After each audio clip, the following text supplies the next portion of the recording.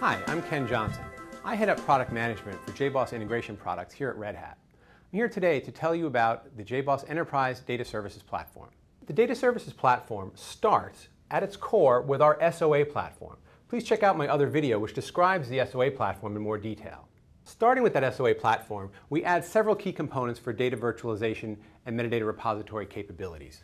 Our data virtualization engine allows you to create composite unified views of your data assets, very high performance, read-write access to your data, and it provides federated access across a multitude of data sources.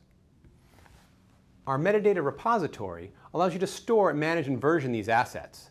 Our data models, our virtual databases, DDL files, text files, WSDL files, other assets you create in implementing your data services solution. We also add data access layers in terms of JDBC and ODBC drivers that allow different kinds of clients to connect and access data services.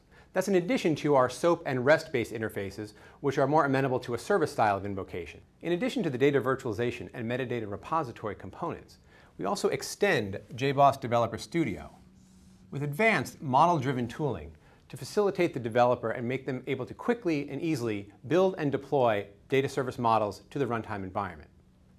In addition, we also extend JBoss Operations Network to enable monitoring, management, and runtime governance of your data service artifacts. This complete set of runtime and design time components and technologies is delivered in one integrated platform. that's a quick overview of the JBoss Enterprise Data Services Platform.